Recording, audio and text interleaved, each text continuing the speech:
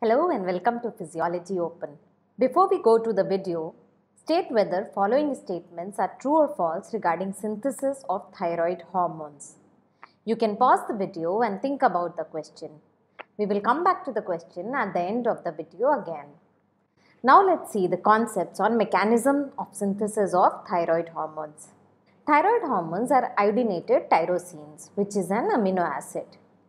Thyroid gland synthesizes these hormones from two substrates, the ion iodine and the protein thyroglobulin, which is a tyrosine amino acid rich protein. This protein is synthesized by the epithelial cells lining the thyroid follicles and is stored in the colloid.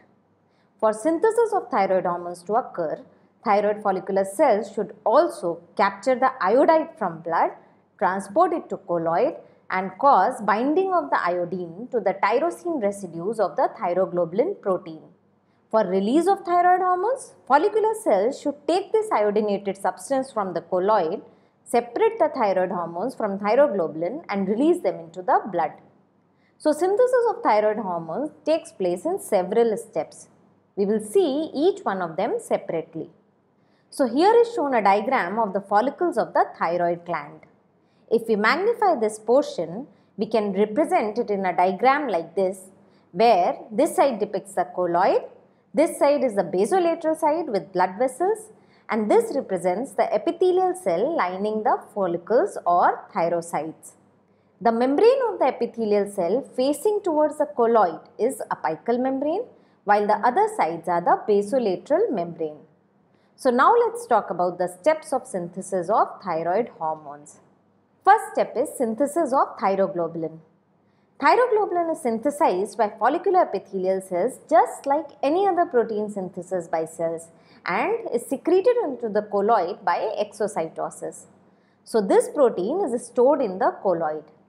The next step involves trapping and transport of iodide. Iodine is present in circulation as iodide ion. This iodide is taken up into the cytoplasm by sodium iodide symporter which is a secondary active transporter. This is present on the basolateral membrane of thyrocytes. This iodide then enters into the colloid via the apical membrane through chloride iodide exchanger which is also known as pendrin. So now we got both iodide and thyroglobulin into the colloid. However, the iodide cannot react with the tyrosine residues. For that, it should be oxidized to iodine.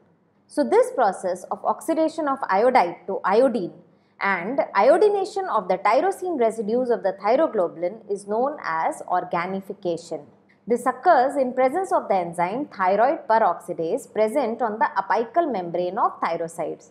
So organification is the third step.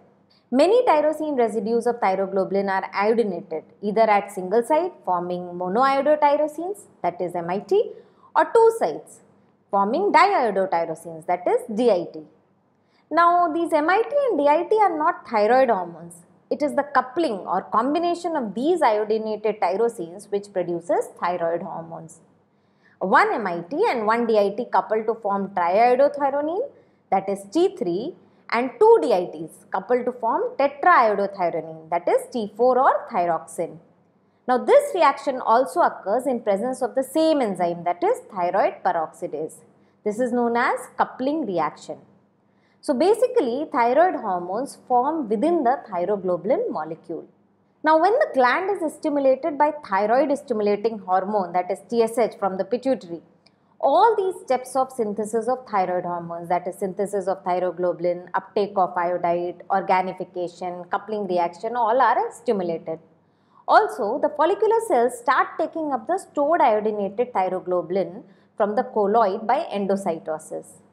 When taken up inside the cytoplasm, lysosomes fuse with the phagocytosed thyroglobulin and cleave T3 and T4 from thyroglobulin by proteases which are then released from the basolateral side and enter into the circulation. Now these proteases also separate the amino acids which are reused to produce thyroglobulin. The MIT and DIT which are not coupled are acted upon by the enzyme deiodinase which as its name suggests detaches the iodine from the tyrosine both of which are recycled. Now let's come back to our original question.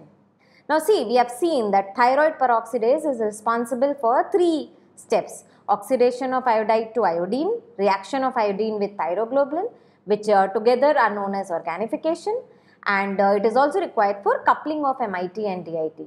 So drugs which inhibit this enzyme will interfere with all these steps of thyroid hormone synthesis.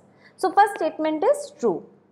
Well, in second statement, see thyroid peroxidase oxidizes iodide to iodine which combines with thyroglobulin and not iodine to iodide as mentioned in this statement. So second statement is a false statement.